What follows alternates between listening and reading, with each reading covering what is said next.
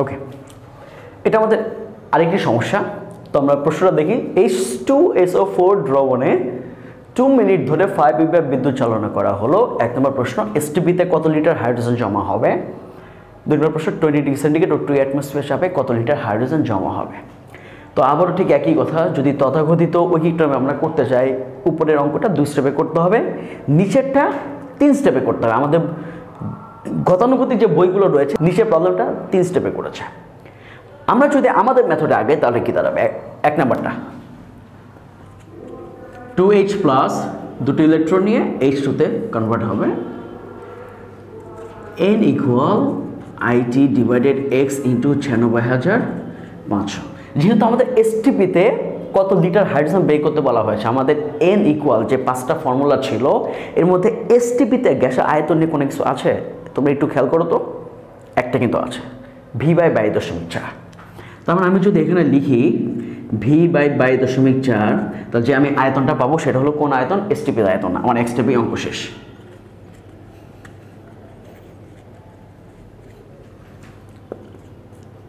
V divided twenty two point four five ampere two into sixty second এখানে extra কত হবে?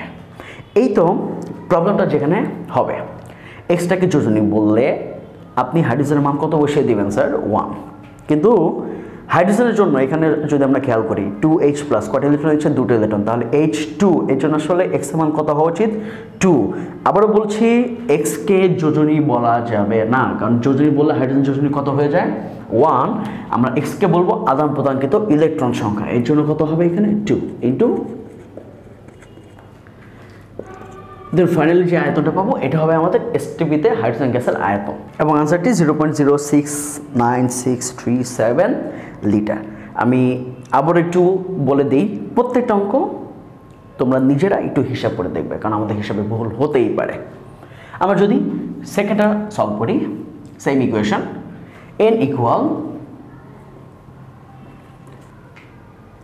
এখানে দেখতে পাচ্ছি হাইড্রোজেনের আয়তন চাচ্ছে কিন্তু অন্য একটা তাপমাত্রা এবং কিসে চাপে তো আমরা যদি এন ইকুয়াল যে পাঁচটা ফর্মুলা একটু যদি আবার সাফল করি, এর ভিতর চাপ, তাপমাত্রা এবং আয়তন বলে কোনো কিছু আছে কিনা, একটা কিন্তু রয়েছে। N equal PV by R D তার মানে আমি যদি এখানে বসাই N equal PV by R T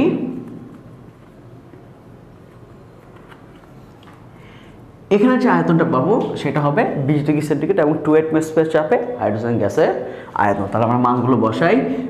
two atmosphere চাপ হলো টু অ্যাটমসফিয়ার ভিটা লিটারে আসবে, আর এর মান zero point zero eight two one into temperature সেলসিয়াসকে অবশ্যই কিসে নিতে হবে? আমাদের কেলভিনে নিতে হবে। টোয়েন্টি প্লাস টু সেভেন্টি কত হয় আমাদের? টু নাইন থ্রি আই কত ampere five ampere minute two, X মান টু ছিয়ানব্বই হাজার পাঁচশো। এখান আমরা যে ভিটা পাবো সেটা হচ্ছে বিশ ডিগ্রি সেন্টিগ্রেড এবং টু অ্যাটমসফিয়ার চাপে হাইড্রোজেন গ্যাসের আয়তন। এবং আনসারটা হবে zero point zero three seven three nine two litre.